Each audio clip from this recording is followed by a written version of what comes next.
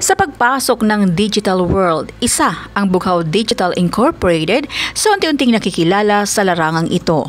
Ayon kay Ronald Rodriguez, founder ng Bughaw Digital Incorporated, ang nasabing kompanya ay para sa digital world na kung saan usong-uso.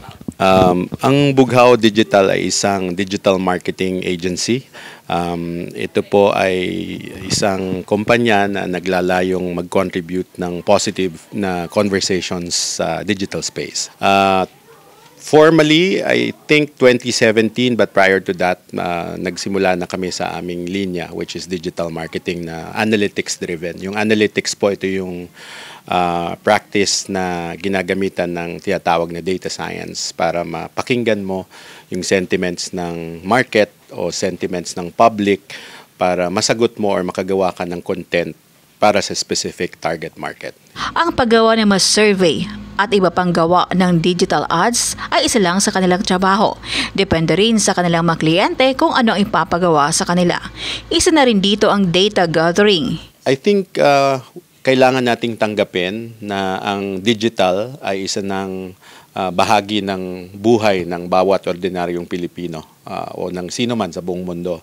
So that uh, kailangan um, merong nandyan sa digital space na ang layunin niya ay makapagbigay ng mabuting usap, usapan or conversation uh, as opposed to yung kumbaga hindi natin may iwasan na ang dami-daming negative na conversations ngayon online. Kami po si Bughaw Digital, gusto namin mag-inject ng positive na conversations sa digital space.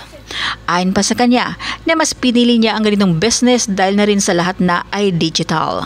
Uh, marami, eh, we cater sa iba't ibang linya, uh, pwedeng sa enterprise, pwedeng sa brand, pwedeng sa personalities. But uh, more importantly, I think gusto kong i-highlight na nagfo-focus kami sa um, apat na verticals. No? So one of them is sports, the other one is tourism, uh, and then retail, and of course yung music. Uh, gaya nung kung bakit nyo nakilala si Bughaw Digital sa Bicol. Yeah. Karamihan sa mga empleyado nito ay mga Bicolano. Um, uh, hikayatin yung mga kapwa natin Bicolano na pag-aralan ng mabuti yung mabuting gamit ng digital no? So may it be digital commerce digital marketing uh, whatever.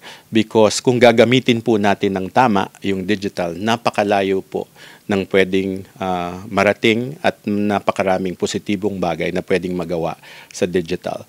So with the help of companies like Bughaw Digital, Bibili.com, BSS Corp, marami po kaming maibabahagi sa inyo na pwede nyong matutunan at magamit nyo sa inyong uh, pamumuhay or sa inyong hanap buhay sa mga susunod na panahon.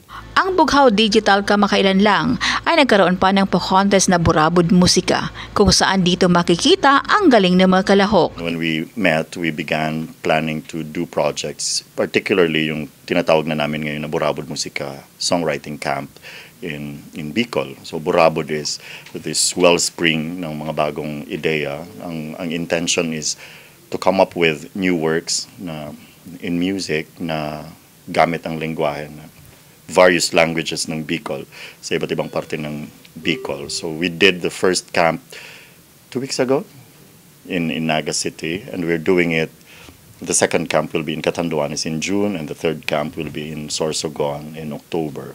And it's going to lead to a bigger festival back in Naga City by February 2021, because it's also the National Arts Month, yung February. So we will have uh, performances, workshops, and competition. Nagpaunlak pa ng sample ng pagkanta si Joey Vargas, isang member ng Mardigal Singer. Sometimes I feel like a motherless child. Sometimes I feel like a motherless child. Sometimes I feel like a motherless child, a long way from home, a long way from home. Mula dito sa Makati City, Tere Raula, BH TV News, Philippines.